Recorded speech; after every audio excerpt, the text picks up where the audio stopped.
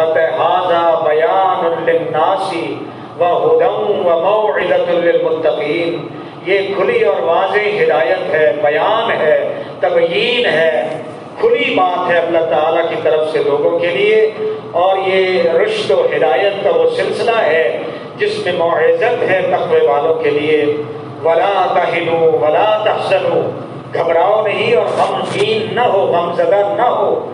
وَأَنْتُمُ الْأَعْلَوْنَ إِن كُنْتُم مُؤْمِنِينَ تم ہی غالب رہو گے اگر تم صحیح معنوں میں مومن ہو۔ ان آیات ربانیہ کے علاوہ بھی بے شمار آیات قرآنیہ۔ ایمان والوں کو میرے بھائیوں تسلی بخشتی ہیں ان کی ڈھارس بدھاتی ہے۔ جب ایمان والوں کو کسی ابتدا میں آزمائش میں ڈالا جاتا ہے ان کا ایمان کمزور نہیں پڑتا بلکہ زیادہ ہوتا ہے اور مضبوطی میں آ جاتا ہے۔ جب ان کو پروردگار عالم کی جانب سے مختلف قسم کی خوشخبریوں سے نوازا جاتا ہے۔ اللہ تعالیٰ ایمان والوں کو پرکھتا ہے، ایمان والوں کا جائزہ لیتا ہے، ایمان والوں کو ہی امتحان میں ڈالتا ہے۔ اللہ رب العزت کی طرف سے یہ شرط لازم ہے۔ وَلَنَبْلُوَنَّكُمْ بِشَيْءٍ مِّنَ الْخَوْفِ وَالْجُوعِ وَنَقْصٍ مِّنَ الْأَمْوَالِ وَالْأَنفُسِ وَالثَّمَرَاتِ وَبَشِّرِ الصَّابِرِينَ الذين اذا اصابتهم مصيبه قالوا انا لله وانا اليه راجعون. اولئك عليهم صلوات من ربهم ورحمه واولئك اللہ تعالی نے قرآن میں تسلی دلائی ہے کہ ہم ضرور تمہیں آزمائشوں میں ڈالیں۔ گے کبھی بھوکی آزمائش تم پر مسلط کی جائے گی، کبھی تمہارے اموال میں گھاٹا ڈالنے کی آزمائش ہوگی، کبھی تمہارے لیے نفوس کی آزمائش ہو، اور کبھی تمہیں اللہ تعالی ثمرات سے آزمائے گا۔ وہ بشر صابرین اور اے پیارے پیغمبر محمد الرسول اللہ صلی اللہ علیہ وسلم، بشارت دے دیجیے صبر کرنے والوں کو۔ کون صبر کرنے والے؟ اللہ زین ایزا مصیبت، جب جب ان پر مصیبت ٹوٹ پڑتی ہے، قالوا انا للہ وانا الیہ راجعون۔ وہ جگہ فضا ہاؤ ہو سے کام نہیں لیتے، بلکہ وہ یہی کلمہ دہراتے ہیں، انا للہ۔ ہم سب اللہ ہی کے لیے ہیں۔ وَإِنَّا إِلَيْهِ اور یقینی طور پر ہم سب نے اللہ کی طرف لوٹ جانا ہے۔ ہمیں اللہ ہی کی طرف پلٹنا ہے۔ یہ ان کا عقیدہ ہے دائیہ ہے، جذبہ ہے۔ جو ایمان والا کہلواتا ہے، وہ گھبراتا نہیں ہے، ڈرتا بھی نہیں ہے۔ بلکہ بہادری کے، دلیری کے، وہ میرے بھائیوں، نقوش چھوڑ جاتا ہے۔ جو اس سے پہلے کہیں موجود نہیں ہوتے، جن کی کوئی مثال نہیں ہوتی ہے، ایسے افراد کو اللہ تعالیٰ خوشخبری عطا فرماتا ہے۔ ارشاد ہوتا ہے جو جو لوگ یہ کہہ دیں، انا للہ و انا الیہ راجعون اولئک علیہم صلوات من ربہم و ورحمۃ یہ وہ لوگ ہیں جن پر اللہ تعالی کی رحمتیں بے پایاں اور نمایاں ہو کر نازل ہوتی ہیں۔ اللہ تعالی کی رحمتوں میں ان کو سمو لیا جاتا ہے اور یہی وہ لوگ ہیں جو ہدایت والے ہیں۔ انہی لوگوں کو اللہ تعالی نے رشد و ہدایت پر لا کھڑا کیا ہے جو جگہ فضا نہیں کرتے، بلکہ صبر و سواد سے کام لیتے ہیں اور اللہ کی رضا پر راضی ہونے کا اعلان دے دیتے۔ میرے بھائیوں، بے شمار مثالیں اللہ تعالی نے انبیاء کی امتوں کی پیش فرمائی۔ لا تعداد مثالیں خود جناب محمد الرسول اللہ صلی اللہ علیہ وسلم سے منسلک ہیں. ان تمام مراحل میں سے اللہ کے رسول کو گزارا گیا. اور پھر اس سے بھی آگے صحابہ کرام رضوان اللہ علیہ مجمعین نے ہر قسم کی قربانی کا دائیا جذبہ نہ صرف پیش فرمایا، بلکہ اللہ تعالی نے ان کو بھی ان تمام آزمائشوں سے، ابتلاؤں سے، ان مشکل ترین گھڑیوں سے گزارا اور ان آزمائشوں کے بعد اس طرح بنا دیا جیسے سونا بھٹی میں دب کر کندر بن جاتا ہے۔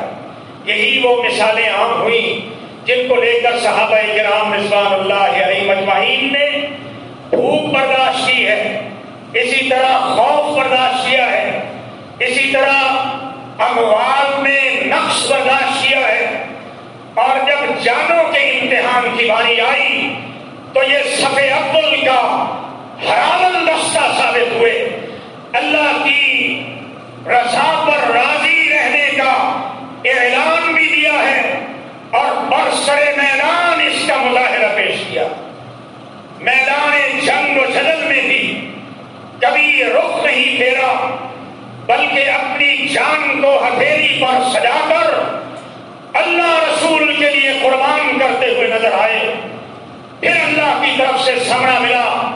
رضی اللہ عنہم ورضو عنہ ذالک لمن خشی ربا یہ وہ لوگ تھے جن سے اللہ تعالی نے راضی ہونے کا اعلان دیا۔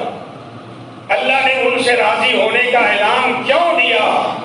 اس لیے کہ وہ اللہ کے ہر حکم پر راضی ہونے کا اعلان دینے والے تھے۔ اللہ تعالیٰ نے میرے بھائیوں، ان پر بھی آزمائشوں کا مرحلہ گزارا۔ ہے آپ دیکھیے شہاب ابھی طالب میں جب ناطفہ بند کر دیا گیا۔ سوشل بائیکاٹ کا سلسلہ مسلسل تین برس سے بھی زیادہ عرصے پر محیط ہے۔ اور یہ اللہ کے رسول کو تنہائی میں چھوڑنے والے تھے۔ نبی محترم کے ساتھیوں کے ساتھ انتہائی ناروا سلوک روا رکھنے والے، انتہائی ذلتوں اور پستیوں کا شکار ہونے والے، حالانکہ اپنے آپ کو بڑا ہی مدبر شمار کرنے والے تھے، بڑے مسئلے بن کر دکھانے والے تھے۔ لیکن جب مرحلے آئے آزمائشوں کے، بہت سے لوگ اللہ کے رسول کا ساتھ چھوڑ گئے۔ اور چند گنے چنے افراد کو بھی محصور کر کے رکھ دیا گیا۔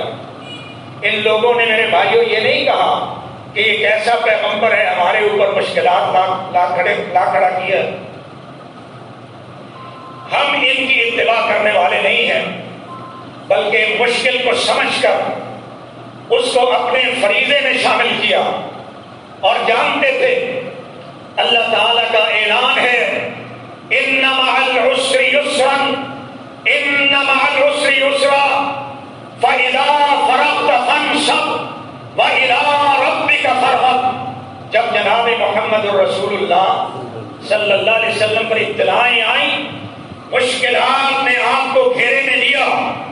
اللہ کی طرف سے اعلان ملا، بار بار اعلان ملا۔ بلا شبہ، مشکل کے ساتھ آسانیاں ہیں۔ بے شک یہ جان لیجیے محمد صلی اللہ علیہ وسلم، مشکل کے ساتھ ہی آسانیاں جاری ہو جاتی۔ ان نمال اسری یسرن ان نمال اسری یسرا۔ یہ تکرار کیوں ہے تاکہ انسانوں کو یقین ہو جائے؟ کلمہ ایک مرتبہ بھی کہہ دینا کافی رہتا ہے۔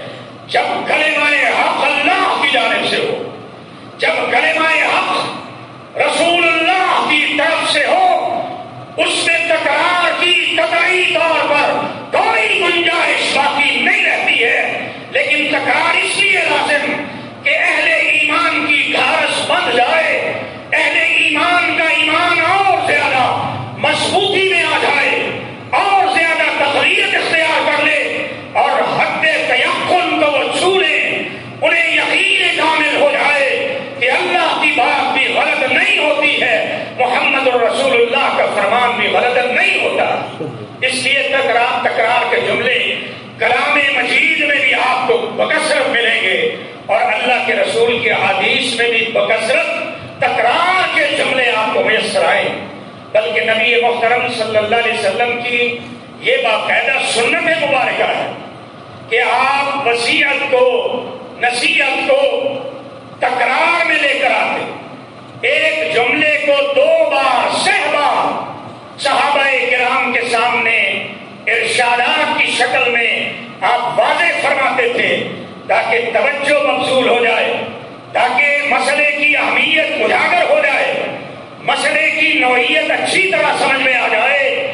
اسی بنا پر رسول محترم صلی اللہ علیہ وسلم کی سنت متحرہ یہ تھی کہ آپ اہم باتوں کو زیادہ تکرار کے ساتھ توجہ مبصول کرانے کے لیے پیش فرمایا کر نبی اکرم صلی اللہ علیہ وسلم بار بار میرے بھائیوں خبردار کرتے ہیں۔ آپ فرماتے اللہ ان فل جسد مسلطن اذا صلحت صلح الجسد كله واذا فسدت، فسد الجسد كله الا وهي القلب، الا وهي القلب، الا وهي القلب۔ خبردار لوگ تمہارے جسم میں ایک ایسا لوتھڑا ہے، جب یہ لوتھڑا درست رہے گا، سارا جسم اس کا دعوے فرمان ہے، سارا جسم درست سمجھ میں کام کرے۔ اور جب یہ لوتھڑا فسادی بن جائے، پھر سارا جسم فساد وفا کرے گا۔ اے مومنو اے میرے صحابہ، اے لوگوں، جان رکھو۔ اللہ وحی القلب یہ لوتھڑا تمہارا دل ہے جو تمہارے سینے میں دھڑک رہا ہے۔ خبردار یہ تمہارا دل ہے۔ آگاہ رہو کہ یہ تمہارا دل ہے۔ نبی اکرم صلی اللہ علیہ وسلم، میرے بھائیوں، اس بات کو کیوں باتیں فرما رہے کہ ساری خرابیوں کی جڑ انسان کا دل ہوتا ہے۔ یہ دل و دماغ کی قوت جب تک صحیح استعمال میں نہ لائی جائے، زمین پر فساد بڑھتا چلا جاتا ہے۔ یہی سب سے بڑی وجہ ہے کہ ہم فساد کو کنٹرول کرنے میں ناکام ہو گئے۔ جس کی وجہ سے فساد بھی زمین پر پھیلتا چلا جا رہا ہے اور اس کے بھیانک نتائج بھی روز بے روز اضافے میں ہیں۔ ان میں اضافہ ہو رہا ہے، کمی نہیں ہو رہی۔ اس سے ہمیں جائزہ لے لینا چاہیے۔ اس سے اس بات کا اندازہ کر لینا چاہیے کہ جہاں پر توبہ رجوع اللہ کے لیے خبردار کیا گیا۔ ہمارے کانوں پر آج تک جھو تک نہیں رہی ہے۔ ساری دنیا کو اللہ تعالی نے ایک عذاب میں لپیٹا ہے۔ پھر بھی میرے بھائیوں، اکثر لوگ گمراہی کی طرف گامزن اور وہ جس کو کوئی شے خیال نہیں کرتے کیا ہمارے اس ملک میں میرے بھائیوں، پہلے دن سے لے کر آج تک اموات میں اضافہ ہو رہا ہے یا کمی ہو رہی ہے؟ یہ اضافہ ہونا اس بات کا واضح ثبوت ہے کہ ہم نے سچے دل سے رجوع نہیں کیا اللہ تعالیٰ کی طرف۔ اگر رجوع کیا ہوتا تو بڑی بڑی بلائیں ڈل جاتی۔ اللہ کے رسول صلی اللہ علیہ وسلم کے فرامین سچائی پر مبنی ہے۔ جب اللہ کے رسول اس بات کی نشاندہی کر دے تو باقی کوئی شک و شبہ کی گنجائش نہیں رہ جاتی۔ اور اللہ تعالیٰ نے اس پر میرے بھائیوں مورے تصدیق سب کرتا ہے۔ اللہ فرماتے ہیں وَسَارِعُوا إِلَى مَغْفِرَةٍ مِّن رَبِّكُمْ وَجَنَّاتٍ تَجْرِي مِن تَحْتِهَا الْأَنْهَارُ۔ اللہ کی مغفرت کی طرف دوڑ کر آؤ اور اللہ کی بخششوں کی جانب اور اللہ کی اس جنت کی طرف دوڑے چلے آؤ عرض السماوات والارض اعدت للمتقین جس کی محض چوڑائی ہی زمین و آسمان جیسی ہے اور یہ تقوی والوں کے لیے تیار شدہ تقوی والوں کی نشانیاں کہ وہ اللہ کے راستے میں خرچ کرنے والے آج کے ایام میں آپ دیکھیں، دور نہ جائیے، اللہ کے گھروں کی مثال لے لیں۔ آج کل لوگ اللہ کے گھر کے لیے بھی خرچ کرنے میں شرما رہے بنسبت عام دنوں کے، جبکہ اللہ کے راستے میں خرچ کرنے والے کے لیے ضمانت ہے کہ بلائیں اس سے کل جائیں۔ صدقے میں زیادہ حصہ لینے والا اپنے دنیاوی رزق میں بھی اضافہ کرواتا ہے اور اخروی خزانے میں اس کے تصور میں بھی نہیں ہے جتنا اضافہ ہو جاتا لیکن مایوس دلوں کو دیکھیے۔ عام ایام کی نسبت ان دنوں میں اللہ کے گھروں کے لیے بھی خرچ کرنے میں میرے بھائیوں بحث و تمہیز میں پڑا جا رہا ہے اور اپنے آپ کو اس سے بھی الگ کر کے مایوس کن صورت حال پیدا کی جا رہی۔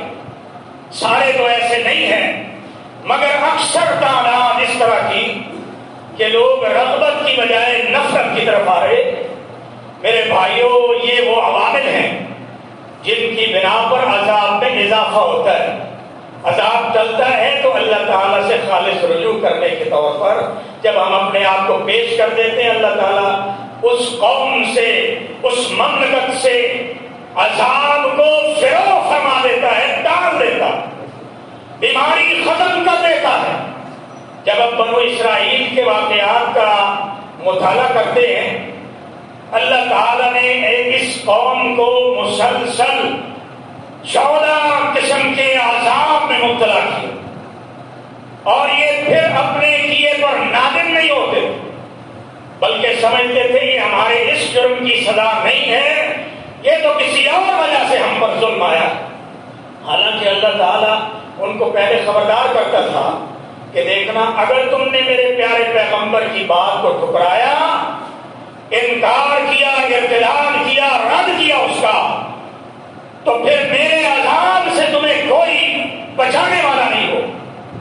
اور یہ پھر بھی بات نہیں آتے تھے۔ نت نئی فرمائشیں، نت نئے مطالبے اور پروگرامز لے کر صرف اس لیے آگے کرتے کہ کسی نہ کسی طرح پیغمبر کی بات کو چھٹلا دیا جائے، ٹھکرا دیا جائے۔ اور ان کو ان کے ہی دعوے میں چھٹلا دیا جائے تو ہم ایک مرتبہ بھی چھٹلانے میں کامیاب ہو گئے، سچے ہو جائیں گے، پیغمبر جھوٹا شمار ہو جائے۔ لیکن پیغمبران نظام تو اللہ کی طرف سے معمور ہوتے اللہ تعالیٰ نے ہار ہار مطالبہ ان کا پورا فرمایا اور یہ بھی ساتھ کہا کہ دیکھو، اگر یہ نہ مانے تو پھر میرا عذاب بھی بڑا شدید ہو اللہ تعالیٰ نے ان کی طرف جو عذاب بھیجے، آج بھی میرے بھائی واضح ہیں۔ اسی لیے اللہ فرماتے فنزلو کئی فکان عاقبت المقصبین ذرا زمین میں چل پھر کر دیکھو، جھٹلانے والوں کا ہم نے انجام کیا کیا ہے۔ قوم لوت پر اللہ تعالیٰ نے عذاب بھیجا، آج بھی وہ موجود ہے، جس کو بحیرہ مردار کہا جاتا ہے ڈیڈ سی یہ آج بھی لوگوں کی نگاہوں میں ہے، اور یہ اس بڑے جرم کی پالاش میں۔ اللہ تعالیٰ نے اس قوم کو آزاد دیا جس پر حد لاگو فرمائی تھی اور لواطت کے عمل سے روکا تھا۔ اللہ تعالی کے حکم کی نافرمانی کرنے والے بڑے بڑے پیغمبروں کو جھگڑا رہے تھے۔ پھر اللہ نے آزاد اس شکل میں نازل کیا کہ اس سرزمین کو ساتویں تہ سے اٹھارا، ساتویں آسمان کی وسعتوں عفتوں بلندیوں تک پہنچا کر پھر ساتویں زمین کی تہ پر دے مارا۔ اور بحیرہ مردار جاری ہو۔ آج اس بحیرہ کا پانی بھاری ہے۔ کوئی بھی شخص ایک گھونٹ اگر اس سے بھولے سے پی لے، وہ پیٹ کی بیماری میں ایسا مبتلا ہوتا ہے موت تک اس کی جان نہیں چھوڑ۔ یہ اللہ تعالیٰ کی طرف سے واضح نشانیاں۔ پھر وہ فرعون میرے بھائیوں جو انا ربکم اللہ کا دعوے دار تھا، یہ بھی اللہ کے احکامات سے لڑائی کا ایک زبردست طریقہ اپنائے ہوئے تھا کہ کوئی بیٹا پیدا ہونے سے پہلے ہی خبردار ہو جاتا اور نرینا اولاد کو قتل کروا دیتا، خاتمہ کر دیتا۔ کس لیے؟ اس لیے کہ کوئی اس کا ہمسر نہ بن جائے۔ کوئی اس کی مملکت پر چڑھ نہ دوڑے۔ اور اس کی فرانیت کو تباہ نہ کر دے۔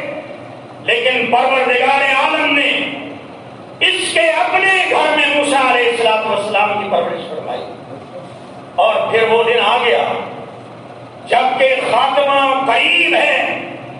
اللہ فرماتے ہیں، اے موسا جاؤ اور فرعون سے کہو کہ میں تمہیں اصل پروردگار کی طرف بلاتا ہوں۔ جو ساری کائنات کا پیدا کرنے والا، ساری کائنات کا خالق اور مالک اکیلا، اذهب الى فرعون انه طغى فقل هل لك الى ان تزكى وهديك الى ربك فتخشى فاراه الايه الكبرى فكسر راسا ثم ادبر يسعى فحشر قال انا ربكم الاعلى فاخذه الله نكال الاخره والاولى ان في ذلك لعبره لمن يخشى. اللہ تعالی نے اس کو نشان عبرت بنا دیا، جو کہتا تھا، میں سب سے بڑا رب ہوں.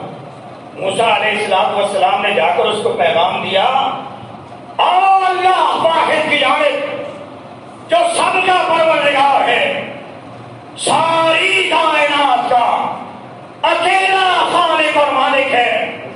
فقط آسان اس نے جھٹلا بھی دیا نہ فرمانی بھی کی۔ اللہ تعالیٰ فرماتے فحافظ اللہ نقال الاخرت والولا پھر اس کو ہم نے ایسا پکڑا ایسا پکڑا۔ اس کو نشان عبرت بنا آج دیکھیے ہمارے چھوٹے چھوٹے بچوں کے جیبوں میں موبائل میں رامیش اسٹو کی فوٹو موجود ہے، ویڈیو موجود ہے اور ریسرچ یہ ثابت کر چکی ہے کہ یہ وہی فرعون ہے جو موسا کے سامنے کھڑا ہوا تھا اور اس نے انا ربکم الاعلی کا کلمہ کہا۔ اللہ تعالیٰ نشان عبرت بنانے پر قادر نبی محترم جناب محمد الرسول اللہ صلی اللہ علیہ وسلم کی ہدایات بے شمار ہے اس زمن میں کہ جب کوئی قوم اصلاح پا لیتی ہے اور فساد سے رک جاتی اپنے آپ کو اللہ کے عذاب کے مقابل نہیں لاتی۔ بلکہ توبہ معافی رجوع کا رویہ اختیار کر دے، نہ صرف ان سے عذاب ٹل جاتا، بلکہ اللہ کی بے پایا رحمتوں کا دن رات نزول ہوتا ہے ان پر۔ آج میرے بھائیوں، رمضان المبارک کی گھڑیوں کے ہم منتظر ہیں۔ جب سچی توبہ کر لیں گے، اللہ رمضان سے پہلے ہمارے گناہ معاف فرما دیں اللہ تعالیٰ سے دعا کیجیے، اللہ ہمیں رمضان کی مبارک گھڑیوں کا احترام کرنے کی توفیق عطا فرما اس لیے کہ آج تک تو ہم سمجھ میں نہیں پائے اللہ ماشاء اللہ۔ آج بھی جس جس ہدایت کی طرف رہنمائی ہمیں ملتی ہے، ہم اس کو ٹچ کر آگے بڑھنے کی کوشش کریں۔ ضد میں ہیں کہ ایسا نہیں ہو سکتا۔ حالانکہ یہ ہدایات اور رہنمائی دین اسلام کے بین اصول اور ضابطے خود بیان کیے نبی محترم صلی اللہ علیہ وسلم۔ لیکن ہم ان کو ماننے کو بھی تیار نہیں ہوتے۔ ہماری ضد یہ ہے کہ یہ بھی ایک وبا کی طرح وبا ہے اور اس سے ہم نے لڑ کر دکھانا ہے۔ اللہ سے مقابلہ کوئی کیا جا سکتا ہے؟ اللہ تعالیٰ تو میرے بھائیوں ہمیں معافی کی طرف بلا رہے ہیں۔ ہم اللہ سے لڑائی کے دامے دار بنے ہوئے فَإِنَّا لِلَّهِ وَإِنَّا إِلَيْهِ رَاجِعُونَ۔ اللہ تعالیٰ امن اور آشتی کے راستے میں بتا رہا ہے کہ یہ کر لو گے تو عذاب ٹل جائے گا، رجوع اللہ ہو جائے گا تو عذاب کا نام و نشان نہیں رہے گا۔ اللہ کے لیے خالص اپنے آپ کو کر دو گے۔ اللہ تعالیٰ یہ روا نہیں رکھتا ہے، اس کا ارادہ نہیں ہے کہ وہ جہانوں پر ظلم روا رکھنے والا۔ ہم چونکہ ماننے کو تیار نہیں، تو پھر عذاب و عذاب کے کوڑے، روزانہ، زیادہ تعداد میں برس رہے اور یہ اس وقت تک ہوتا رہے گا جب تک کہ سچے دل سے ہم توبہ نہیں کرتے، معافی نہیں مانگ آج ہمارے پاس موقع ہے۔ جو یہاں پر صحت و عافیت کے ساتھ ہیں، ان کے لیے وسیعت ہے نبی اکرم صلی اللہ علیہ وسلم کی جانب سے کہ وہ بیماری سے پہلے صحت کو غنیمت جانے اور غریبی سے پہلے مال و دولت کو غنیمت جانے اور زندگی کو موت سے پہلے غنیمت جانے۔ کیا ہم ان اسباب پر نگاہ رکھے ہوئے ہیں؟ صحت کو بیماری پر ترجیح دینے کے اصول اور ضابطے اگر ہم اپنا لیں اللہ تعالیٰ بیماری فروغ فرما دے گا۔ اسی طرح میرے بھائیوں، جو لوگ اچھے حالات میں ہیں، وہ اپنے روپے پیسے کو اللہ کے لیے وقف کر دیں۔ اللہ تعالیٰ سے جہاں رکھی ہو جائے مال و دولت میں بھی اضافہ ہو جائے گا۔ صدقات و نفقات کی شکل میں اللہ کے بندوں کی خدمت بھی ہو جائے۔ گی اور سلام کی کوئی حد نہیں ہے۔ اللہ تعالیٰ ستر سے بڑھ کر سات سو اس سے بھی زیادہ درجات کی بلندی کا سلام عطا فرمائے گا۔ اور جنت کے خزینے اس سے بڑھ کر ہمارے لیے محفوظ ہو جائے گا۔ یہ وہ دن ہے جب خرچ کرنے کے ایام۔ اور اسی طرح میرے بھائیوں، زندگی کو موت سے پہلے غنیمت جاننے میں ہمیں دیر نہیں لگانی چاہیے، کیونکہ موت جب آئے گی تو پھر یہ دیر ہم پنجوں میں جکڑ لے۔ اللہ کے رسول نے پرانے مجید کی روشنی میں بہت سی مثالیں فرمائی ارشاد فرمائی فرمایا کہ ایک شخص مال و دولت والا اور اسے کوئی شائبہ ہی نہیں ہوتا کہ کبھی موت سے بھی ہم کنار ہوگا۔ وہ اپنی زندگی کی عائش و عشرت میں مگر رہتا اور اچانک ایک جھٹکا ملتا معلوم پڑتا ہے کہ اب زندگی باقی نہیں رہے۔ تو فوراً اپنے بیٹوں سے آہستہ و اقارب سے کہتا ہے کہ فلاں بیٹی کو بھی میری کو بلا لو، فلاں میرے داماد کو بھی دعوت دے دو، اور میرے بہنوں کو بھی بہنوئیوں کو بھی دعوت دے دو۔ کس لیے؟ کہ یہ کہ حصے وہ اپنے اپنے مجھ سے لے جائیں۔ اللہ کے رسول نے فرمایا، اب اس کے اعلان کی ضرورت باقی نہیں ہے۔ اب جن جن کے حصے جتنے بھی ہیں، وہ سب کو مل جائیں گے۔ یہ دینے والا ہو، نہ دینے والا ہو۔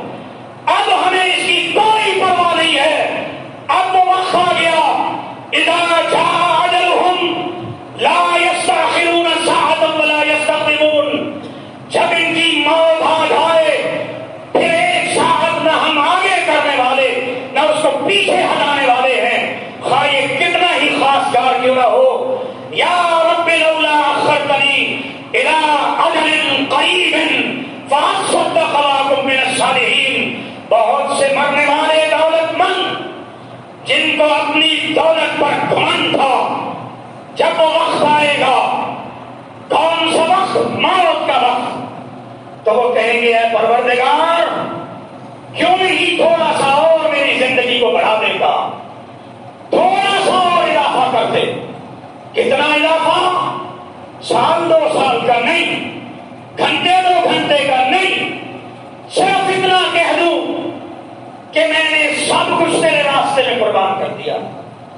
اللہ فرماتا ہے ولی وخر اللہ نفسن اذا جاء اجلها لا يستاخرون ساعتا ولا يستقدمون۔ جب ان کی موت آ جائے، یہ مرنے والا غریب التیار ہو، مخلوق الحال ہو، پھٹے پرانے لباس والا یا یہ مرنے والا کوئی بڑے سے بڑا شہنشاہ ہو خواہ یہ پیغمبروں میں سے کوئی کوئی کیوں نہ ہو۔ ہم جب موت کو لا دیتے، دنیا کی کوئی طاقت ان کو بچا نہیں سکتی۔ تو اس لیے زندگی کو موت سے پہلے غنیمت سمجھیے، اس پیسے کو جمع کر کے گرنے والے، شمار کرنے والے اللہ جمع مال ہوا یا سب ان مال ہوا کلّا لينبذن في الحطمة. وما أدراك ما الحطمة؟ نار الله الموقدة التي تطلع على الأفئدة. اللہ تعالیٰ کا فرمان سن لیں. اللہ فرماتے ہیں، وہ لوگ جو گمان رکھنے والے گمنڈ میں مبتلا، کہ ان کا پیسہ ان کو فائدہ دے گا۔ اور وہ روزانہ گنتی کرتا ہے بینک بیلنس کتنا بڑھ گیا؟ اللہ جمع مال یہ چھوٹی سی صورت ہے۔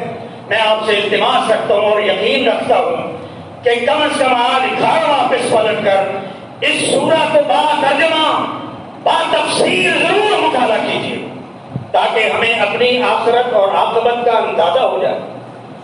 اللہ فرماتے ہیں کہ اس کو گھمن تھا۔ تو آج اس کا پیسہ اس کو موت سے ہم کنار ہونے میں رکاوٹ نہیں ہے۔ اور یہ سمجھتا تھا، یہ روپیہ ہمیشہ رہے گا۔ مزن نفل ہوتا خبردار ہم ضرور اس کا انجام ہوتا کی شکل میں لا کھڑا کریں گے۔ وہ ماں ادرا کمل ہوتما اور پیارے پیغمبر آپ کیا جانے؟ ہوتما کیا ہے؟ نام اللہ الموقدہ۔ یہ اللہ کی بھٹائی ہوئی وہ آگ ہے جس سے دل رسم ہو جاتے ہیں اور اس کے شولے آسمانوں تک بلند۔ انسان جو نحیف ہے، کمزور ہے، اللہ کی آگ کا مقابلہ نہیں کر سکتا۔ اگر میرے بھائیوں، اس سے بچنا ہے تو پھر یقینی طور پر توبہ، رجوع اللہ اور انفاق فی سبیل اللہ کی ایسی شکلیں ہماری زندگی میں ہمیں یہ مہلت دے رہی ہیں۔ کہ ہم اللہ تعالیٰ کے عذاب سے اس دنیا میں بھی بچ جائیں اور اخروی عذاب جو چمک جانے والا ہے، لاگو ہو جانے والا ہے، اس سے چھٹکارا کسی طور ممکن نہیں ہے۔ اس عذاب سے بھی ہمیشہ کے لیے نجات حاصل کر لے۔ اللہ تعالیٰ ہمیں سچی توبہ کی توفیق عطا فرمائے اور اللہ تعالیٰ کی بیان کردہ حدود کا احترام کرنے کی توفیق دے۔ وآخر دعوانا ان الحمد للہ رب العالمین۔